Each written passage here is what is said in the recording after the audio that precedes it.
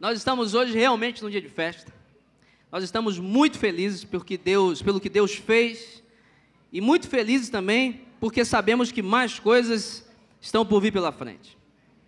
Nós hoje estamos na festa de multiplicação e nós queremos ser uma igreja que cresce ganhando e cuidando das pessoas. Amém? Amém? Nós queremos crescer. Porque tudo que é saudável cresce. Tudo bem que tudo que, às vezes, tem coisas que não são saudáveis e crescem também. Mas, se há uma coisa que é, que é saudável, tende a crescer. E a nossa igreja quer crescer de forma saudável. E como é que a gente cresce de forma saudável? Ganhando pessoas, cuidando bem dessas pessoas. E é isso que nós estamos celebrando, porque por uma organização em redes, nós não dividimos a igreja, muito pelo contrário. Nós nos unimos, mas nós nos organizamos em redes, porque cada rede tem seus setores, tem suas células, e cada célula trabalha para ganhar, para cuidar, para treinar e enviar pessoas. Nós vivemos essa realidade.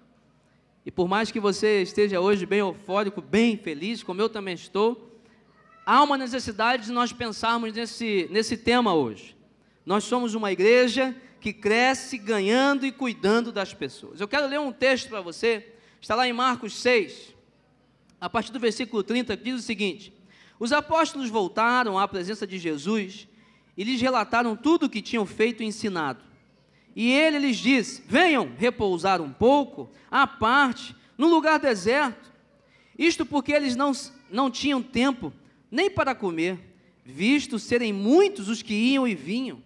Então foram de barco para um lugar deserto à parte. Muitos, porém, os viram sair e, reconhecendo-os, correram para lá a pé, de todas as cidades, e chegaram antes deles. Ao desembarcar, Jesus viu uma grande multidão e compadeceu-se dela, porque eram como ovelhas que não tinham pastor. E começou a ensinar-lhes muitas coisas. Como já era bastante tarde, os discípulos se aproximaram de Jesus e disseram: Este lugar é deserto e já é bastante tarde. Mande essas pessoas embora para que, indo pelos campos ao redor e pelas aldeias, comprem para si o que comer. Jesus, porém, lhes disse: Deem vocês mesmos de comer a eles. Mas eles disseram: Iremos comprar duzentos denários de pão para lhes dar de comer? E Jesus lhe disse: lhe disse Quantos pães vocês têm? Tratem de descobrir. Eles foram se informar e responderam: Cinco pães e dois peixes. Então Jesus lhes ordenou que todos se assentassem em grupos sobre a relva verde, e eles o fizeram, repartindo-se em grupos de cem e de cinquenta. Jesus, pegando os cinco pães e os dois peixes, erguendo os olhos para o céu, os abençoou. Depois partiu os pães e os deu aos seus discípulos para que os distribuíssem. E também repartiu os dois peixes entre todos. Todos comeram e se fartaram, e ainda recolheram doze cestos cheios de, de pedaços de pão e de peixe. Os que comeram os pães eram cinco mil homens. Que Deus abençoe Sua palavra. Veja bem uma frase aqui que me impactou nesse texto. Jesus chega no local, ele recebe seus discípulos que tinham vindo de alguma tarefa e eles estavam cansados. Aí Jesus os chama para um lugar deserto para descansar, porque a multidão estava perto. E aí, quando Jesus, quando vai para essa multidão, vai, vai longe dessa multidão, no lugar deserto, algumas pessoas, ó, oh, Jesus foi para ali, vamos atrás dele, e a multidão vai atrás dele, eles não conseguem ficar sozinhos. Mas quando Jesus olha para a multidão, Jesus sabe o que ele vê? Um bando de gente. E Jesus fala o seguinte: parecem ovelhas sem pastor. Irmãos, quando a gente olha para o mundo hoje, essa é a visão que eu tenho tido das pessoas. Há um tempo atrás, eu confesso a você que olhava para pessoas fazendo coisas erradas, no pecado, e eu ficava triste. Mas às vezes eu sentia assim, poxa, como é que a pessoa, se tinha uma indignação, como é que a pessoa está nesse comportamento? Como é que a pessoa tem feito, tem, tem feito isso? Como é que a pessoa, ela não respeita Deus? Como é que essa pessoa consegue estar nessa prática de pecado? Eu ficava um pouco indignado. Hoje, eu consigo olhar para isso, para as pessoas, para o pecado, e eu consigo ter esse olhar que Jesus teve. Na verdade, eu não fico indignado. Eu olho ovelhas sem pastor. Na verdade, quando você vê uma pessoa em um caminho pecaminoso, longe de Deus, ela está longe do pastor. De mim, que sou pastor da igreja? Não. Ela está longe do verdadeiro e bom pastor, Jesus Cristo.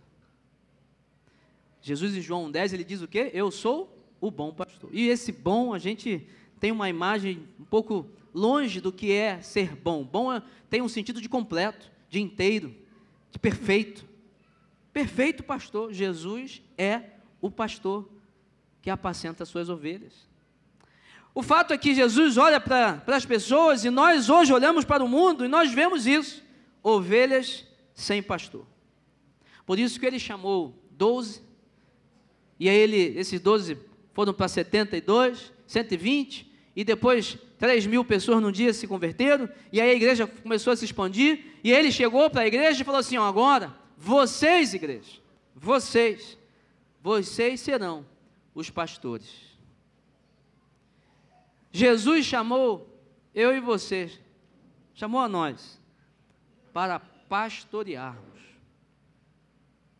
Por isso que nossa igreja entende que todo cristão é chamado para ser pastor é chamado para ser uma pastora. Pelo menos de uma pessoa. Cuidar de alguém, abraçar alguém, dizer para alguém: olha, esse caminho está errado. Jesus te ama. Você não quer aprender a Bíblia comigo? Eu te ensino. Ei, você não quer se encontrar comigo? A gente caminha, eu converso um pouco com você, quero saber como é que está seu casamento, eu me importo com você, eu quero orar por você. Isso é pastoreio.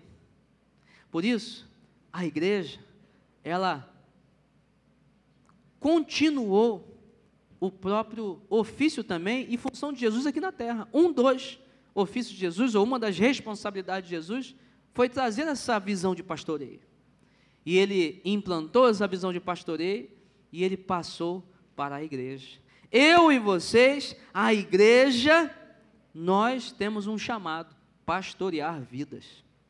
Nós temos um chamado de ser a igreja de Jesus que cresce ganhando e cuidando de vidas. Jesus, na oração sacerdotal em João 17, ele fala: Pai, obrigado porque eu, tomei conta das ovelhas que o Senhor deixou comigo. E aí, ele fala assim uma frase: Mas eu sei, Pai, que ainda haverá muitas ovelhas, há muitas ovelhas ainda que chegarão. Elas não sabem ainda, mas elas fazem parte do aprisco também. Isso Jesus falou há dois mil anos atrás e nós estamos aqui, ovelhas que começaram a fazer parte desse aprisco também. E eu posso falar a mesma coisa, nós estamos aqui, está cheio hoje. Essa festa de multiplicação no semestre que vem, tem que estar tá lotado aqui, gente lá fora em pé. Porque mais ovelhas chegarão para esse aprisco. Isso depende de você, depende de mim. Depende do seu entendimento que nós somos uma igreja que cresce, ganhando e cuidando de pessoas. Cuidando bem. E uma prova disso é que uma igreja que cresce, que ganha as pessoas, ela é totalmente, ela tem totalmente a essência do próprio Jesus. Nesses versículos aqui, nós vemos que Jesus, ele estava rodeado sempre de pessoas. Jesus começou o ministério dele sozinho. Ele foi chamado, filho de Deus, ele começou a caminhar e chamar pessoas. Em pouco tempo, já havia uma multidão seguindo Jesus. Sinal de que Jesus se importava em ganhar pessoas. Ele não afastava pessoas. Ele não chegava e falava assim: não, não, não, o meu ministério é solitário. Olha, não, eu gosto mesmo de ficar com, mais, com um público de 10 pessoas. Eu gosto mesmo de uma igrejinha pequena. Porque igrejinha pequena a gente conhece um ao outro. Não. Jesus ele queria a multidão. Jesus ele queria que todas as pessoas fossem alcançadas pelo Evangelho. Todas. Sabe o teu condomínio? Tem quantos prédios lá? Tem quantos apartamentos? Quantos prédios? Então Jesus quer que todos aqueles prédios, todos os apartamentos sejam alcançados pelo Senhor. Na tua rua, Jesus quer que todas as pessoas da rua sejam alcançadas pelo Senhor. Essa é a vontade de Jesus. E nós estamos trabalhando para isso para ganhar pessoas. Nós queremos conquistar pessoas para a gente, para a igreja, para Jesus. Que as pessoas conheçam Jesus. Uma outra característica que Jesus deixa muito bem claramente aqui para a gente é que nós somos uma igreja que nos preocupamos em ganhar, mas em cuidar dessas pessoas. Irmãos, Você sabe que tem uma estatística muito ruim, que existe pelo menos mais de 50% do que é a igreja hoje, lá fora, que já foi parte da igreja? Mais ou menos, nós somos aqui em torno de 500 e poucos membros. Essa estatística diz que tem mais de 250 pessoas que já passaram por aqui que não estão mais aqui. Que se desviaram. Que já até conheceram Jesus. Que participaram de uma igreja. Que, olha, chegaram a, a estar numa festa talvez como essa. Mas hoje não estão mais perto de Jesus. Sabe por quê? Muitas das vezes, talvez porque não foram bem cuidadas. Talvez porque como um bebê. Um bebê faz muitas besteiras, não faz? Ele não sabe o que fazer. Quando começa a andar, então, bota a mão no ventilador, bota a mão na tomada, quebra coisas na casa, né? encosta na panela queimando, é, quente. Besteira. Pois é. A gente esquece que uma pessoa que entra na igreja, que aceita Jesus, é um bebê. E aí, às vezes, ela faz besteiras ela escolhe, toma, toma escolhas erradas, sabe?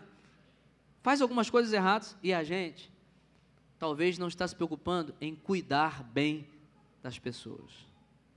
Nossas células precisam se preocupar com isso. Você, líder de célula, você que é membro da célula, você precisa se preocupar se as pessoas na sua célula estão sendo bem cuidadas.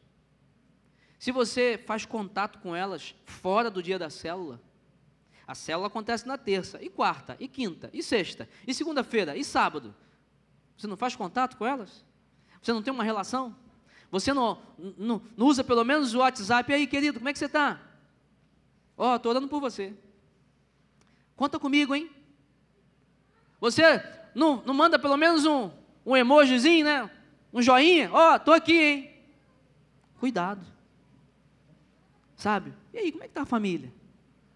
Como é que está lá o trabalho? Eu me importo com você. Você faz o quê? Olha, que trabalho legal. Me conta mais como é que é isso aí. Se importar com o outro. Jesus, ele quando olha a multidão, a Bíblia diz que ele teve compaixão da multidão. Jesus estava ensinando o evangelho, a palavra, mas ele olhou para a multidão e falou assim: eles estão com fome. A gente corre um sério risco em todas as áreas da vida ou em todos os lugares, não é só na igreja, não, lá no seu trabalho, na sua família, no clube, no futebol, em qualquer lugar. O ser humano corre um sério risco de usar pessoas para chegar em determinados lugares ou objetivos. A igreja não pode ser um lugar assim. Você precisa avaliar se realmente você está cuidando de pessoas ou você está talvez usando pessoas para chegar em algum objetivo. Mas a nossa igreja, a nossa igreja cuida de pessoas, amém? amém? Amém? Nós cuidamos, porque nós nos importamos. Tem uma máxima no discipulado que é o quê? Nós acreditamos que o discípulo vai além da gente. Se eu cheguei a tal ponto, meu discípulo tem que ir mais além. Porque eu me importo com ele, eu quero que ele prospere mais que eu, eu quero que ele saiba mais que eu. Ele é meu discípulo. A coroa do discipulado é ver o discípulo prosperando e indo mais além. Quando nós nos importamos de fato com alguém, nós cuidamos e nós valorizamos as conquistas do outro, nós nos empolgamos com as conquistas, com os avanços, nós queremos que as pessoas sejam felizes e nós nos esforçamos, como a Bíblia própria diz, a própria Bíblia diz, Paulo fala, nós fazemos de tudo para agradar a todos. Fazemos de tudo para que as pessoas possam estar alegres, Fazemos de tudo para que a comunhão aconteça. Nós somos essa igreja, uma igreja que cuida das pessoas, que ganha e cuida das pessoas, porque nós somos pastores. Nós somos pastores de vidas. Quer ver uma outra característica dessa igreja de Jesus? Uma igreja que ensina as pessoas. Irmãos, ensinar dá trabalho. Tem professor aí? Quem é professor? Você rala um pouquinho? ensinar dá trabalho. Certo? Você está lá, escreve no quadro, não sei nem se tem quadro mais ainda hoje, como é que é? Está tudo tecnológico, né? Já está todo mundo no tablet, já não. Está no quadro, escreve, é conta, é interpretação de texto, é biologia, é química, é física, é um montão de coisa, é muita coisa que a gente aprende. E aí a professora, o professor se dedicando, ensinando, dá trabalho. Aí às vezes você não pegou na, a pessoa não pega na primeira vez, tem que sentar, repetir, tem que dar outro exemplo, tem que se virar, tem que dançar, tem que cantar, tem que fazer um montão de coisa para a pessoa aprender. Jesus se importava com isso. O texto diz que os discípulos estavam voltando e ele come, eles começaram a contar para Jesus: Jesus, ó, nós fizemos, nós fizemos aquilo, aquilo outro, e nós estávamos ensinando pessoas. Está aí uma marca do ministério de Jesus. Jesus também era um ótimo professor. Jesus ensinava pessoas. E Jesus deixou alguém poderosíssimo para nos ensinar a ensinar. Quem foi essa pessoa? O Espírito Santo. João 14, 26, Jesus fala para os discípulos assim: Olha, fiquem tranquilos. O Espírito Santo vai vir e ele vai ensinar todas as coisas para vocês. Você sabe o que são todas as coisas? Pois é, é do grego todas as coisas. É tudo. O Espírito Santo vai ensinar todas as coisas para a gente. Está aí. É para você começar a então Espírito Santo, me ensina sobre isso. Me ensina como ser um bom marido. Me ensina a ser uma boa esposa, um bom pai, um bom filho, um bom líder. Me ensina a ser um bom cristão. Me ensina a ser um bom trabalhador. Eu quero ser um bom amigo. Espírito Santo, me ensina. Me ensina a orar, me ensina a ler Bíblia. Me ensina a adorar o Senhor. Me ensina a escutar o Senhor. Papel do Espírito Santo. Nos ensinar todas as coisas.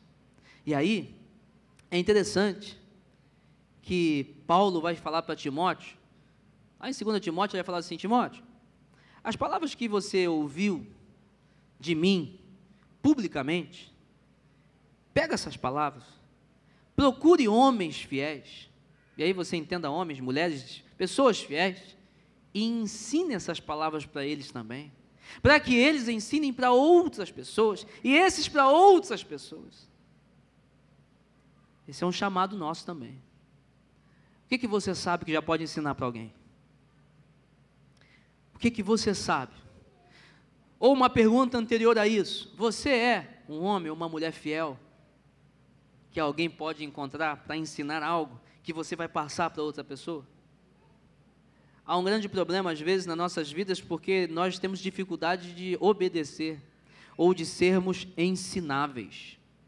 Alguém ensinável, sabe? Alguém que você chega, ó, querido, tem que apertar o botão assim, desse jeito, assim, faz assim, espera, e a pessoa, Ouve, mas como se não tivesse ouvido nada, né? Aí faz do jeito dela. Faz do jeito dela e erra de novo. Aí você vai de novo, querido, é assim, desse jeito. Ó, oh, o manual diz isso. Aí a pessoa ouve aqui e sai do outro lado. Não, é um coração, não tem um coração ensinável. Não é alguém ensinável.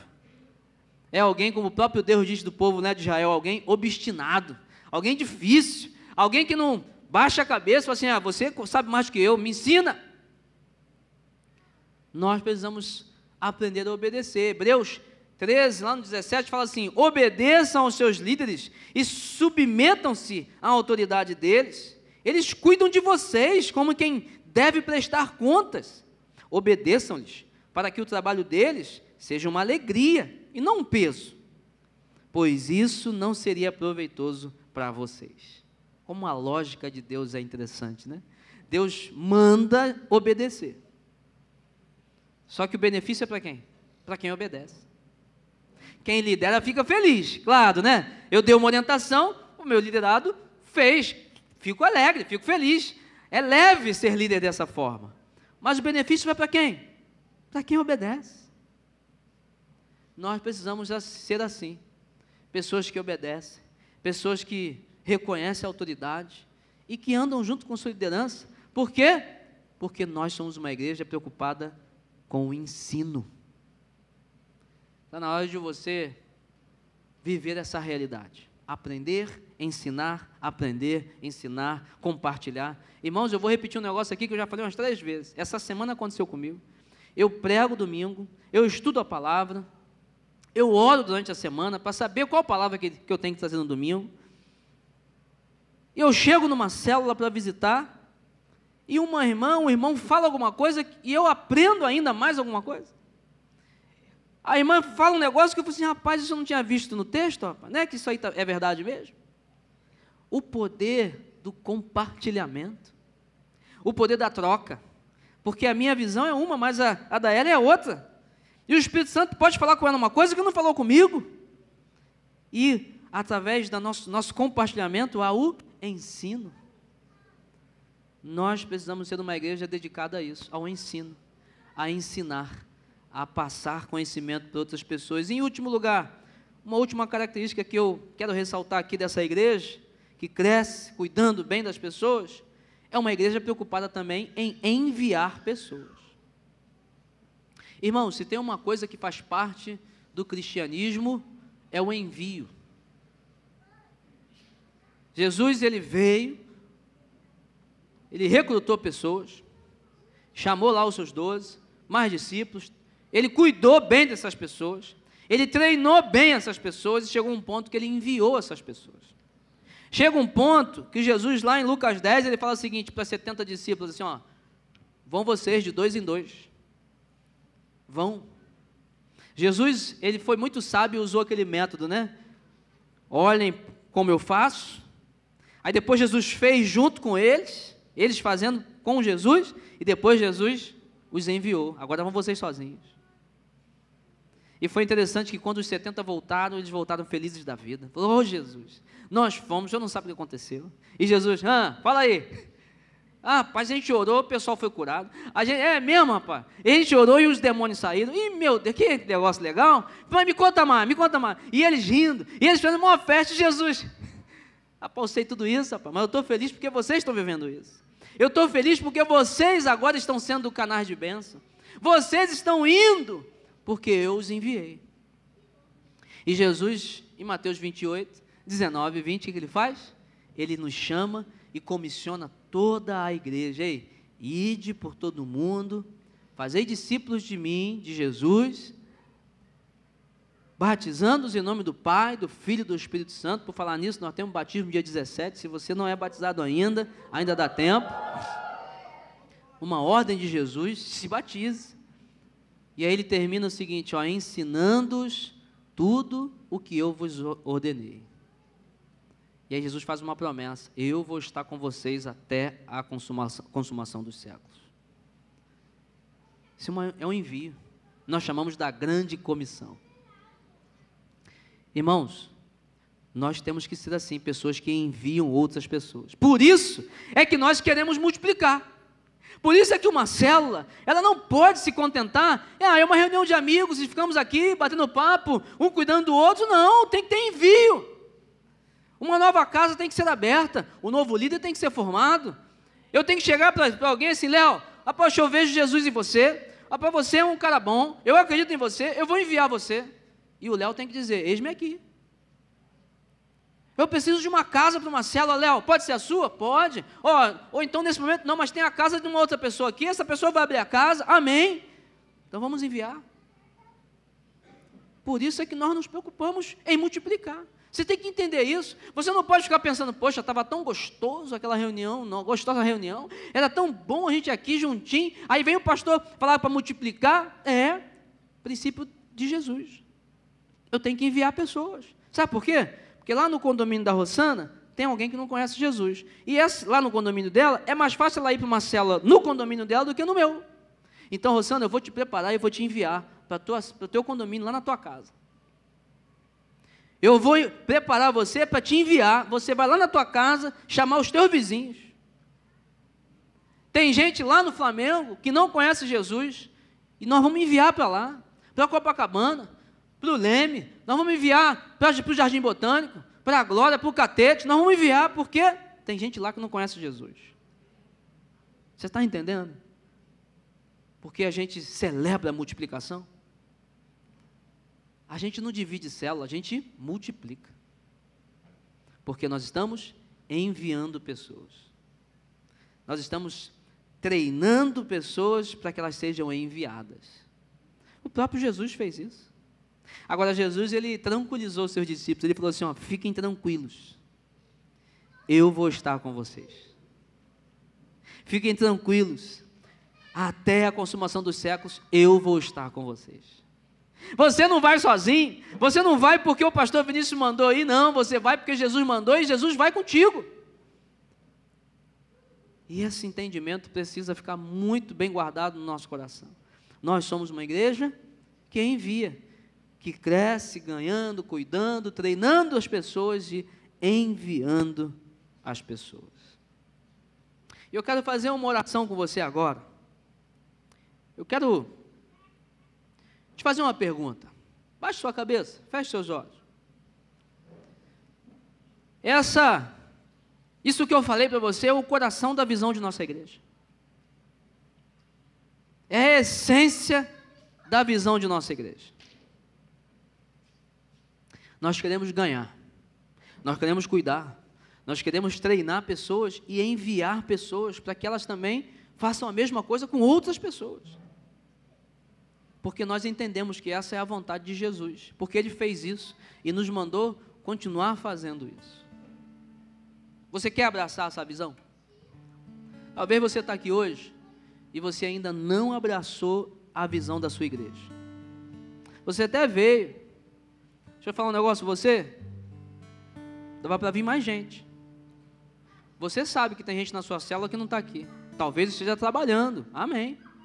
Talvez esteja doente, algum problema. Talvez esteja aí, deu uma desculpa. mas poderia estar aqui se não tivesse dado prioridade a outras coisas. Mas você está aqui, você vai levar essa palavra para ele. Mas você que está aqui, ou você talvez que está me vendo, escutando, essa pergunta é para você. Você abraçou de fato a visão da sua igreja? Fala a verdade. Você entendeu que você é um pastor também? Uma pastora que precisa ganhar? que precisa cuidar, que precisa treinar pessoas, ensinando, ensinando. Dá trabalho, hein? Dá trabalho. Jesus não nos chamou para a gente ficar ser crente, né? Sombra e água fresca, tudo vai ser tranquilo. Não, não. Jesus chamou a gente para trabalhar. Pastor, mas eu já tenho trabalho secular, trabalho muito. É, pois é, Jesus chamou para fazer duas coisas mesmo trabalhar no teu trabalho e também trabalhar para Ele. É, Jesus chamou para isso mesmo. A não ser que você queira ser pastor em tempo integral. Glória a Deus por isso. E você pode ser. Aqui na igreja você pode ser pastor de tempo integral. Você começa com uma célula, você vai a líder de setor com cinco células, vai a líder de área com 15 células. Quando você chega a 50 células, você vai a líder de distrito. Aí você entra no que nós chamamos de estágio probatório para consagração pastoral. Pronto, você vira um pastor. E aí eu posso enviar você para uma igreja. Depende de você. E Deus derramou uma visão para a gente, para que a gente envie pessoas. Ganhe, cuide, treine e envie. Você abraçou essa visão? Eu quero fazer um convite a você que talvez está sendo tocado pelo Espírito Santo hoje com essa palavra. Eu vou fazer uma oração por você que não abraçou a visão ainda, mas hoje quer tomar uma atitude. Alguém aqui, hoje, que está decidindo, pastor, eu quero abraçar a visão, eu quero me tornar líder de célula. Eu quero ser um líder de célula. Se você hoje quer ser um líder de célula, levanta sua mão aí para orar por você em nome de Jesus. Hoje o apelo é diferente. Amém. Glória a Deus. Glória a Deus. Pode baixar sua mão. Glória a Deus. Pode baixar a mão. Mais alguém assim, pastor, eu quero ser um líder de célula, eu quero liderar pessoas, eu quero pastorear. Amém. Glória a Deus, glória a Deus. Amém. Glória a Deus. Deixa eu fazer uma outra pergunta para você. Pastor, eu quero abraçar a visão. Eu quero abrir a minha casa para uma célula.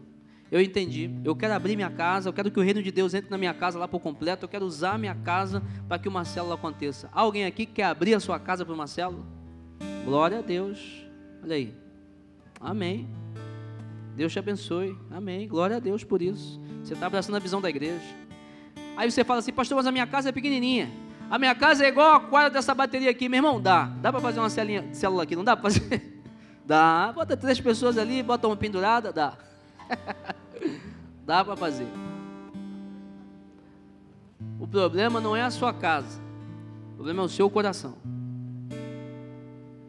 Que às vezes você vê algumas fotos, pastor, tem 30 pessoas dentro de uma cela. A cela está errada, já tinha que, tinha que multiplicar. Você com a sua casa, você pode abrir para ser uma cela. Eu quero pedir para você aqui um, é um trato que você fez comigo com Deus. Você levantou sua mão? Não foi? Você quer ser líder? Você quer ser anfitrião? Você vai falar com o seu líder de célula, o seu líder de setor, de rede. Combinado? Amém? Você que levantou sua mão? Amém? É sério. Assim, ó, eu levantei minha mão, eu quero abrir minha casa. Eu quero ser líder de célula. Porque nós vamos investir em você, nós vamos treinar você. Nós vamos capacitar você, vamos orar pela tua vida, vamos cuidar de você mais ainda, porque nós vamos enviar você. Amém? E eu quero orar pela sua vida. Feche seus olhos. Vamos orar. Amado Deus, há uma visão, ó Pai, dada pelo Senhor para esta igreja. Uma visão de cuidado, de relacionamento, uma visão de evangelismo, uma visão de pastoreio, de treinamento, de ensino, mas de envio. Nós queremos agradecer a Ti porque o Senhor abriu os nossos olhos para isso. E quantas coisas nós temos vivido por causa disso. Quantos casamentos restaurados, quantas pessoas que estão se convertendo, aceitando Jesus, quantas pessoas que estão mudando de vida. E nós estamos sendo instrumentos disso. Isso não tem preço, Senhor. Nós não merecemos isso. Mas o Senhor nos usa mesmo assim. Pai, obrigado porque casas estão sendo abertas, obrigado porque pessoas querem liderar, serem enviadas. Pai, trabalha no coração dessas pessoas, para que mais condomínios, mais ruas, mais bairros possam ser alcançados pelo Senhor. Nós acreditamos na mudança de um bairro, nós acreditamos na mudança de uma cidade, por causa da palavra do Senhor. Não é o governo, não são as autoridades, é a tua autoridade, é o teu evangelho muda a situação, a realidade de uma nação. E nós adoramos a Ti e agradecemos em nome de Jesus. Amém.